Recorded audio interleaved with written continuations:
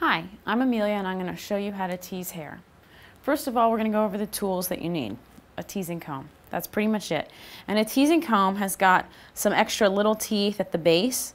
You can also use a comb like this, which has just got a whole row of teeth, like actually three rows of teeth.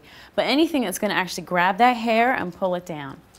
Also, if hair is really healthy, it's not going to hold the teasing. So you may need to use a little bit of hairspray to hold it in place or root lift.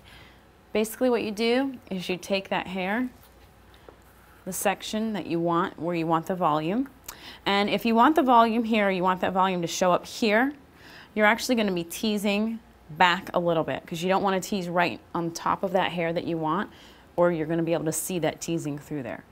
So you just lift it up and then gently tease down. And you really only need to do a few and then see you get that nice piece to stick up. So if you have some hair there that looks like a little rat's nest, you're just going to lightly comb that out. But you be careful because you can comb the whole thing out. And just by doing that, you can simply tease that hair into place. And you would just work that all the way around. Now, you would tease for added volume you would also tease for hold.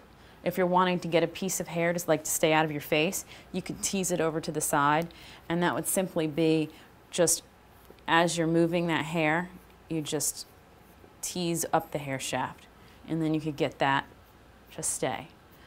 And that's how you tease hair.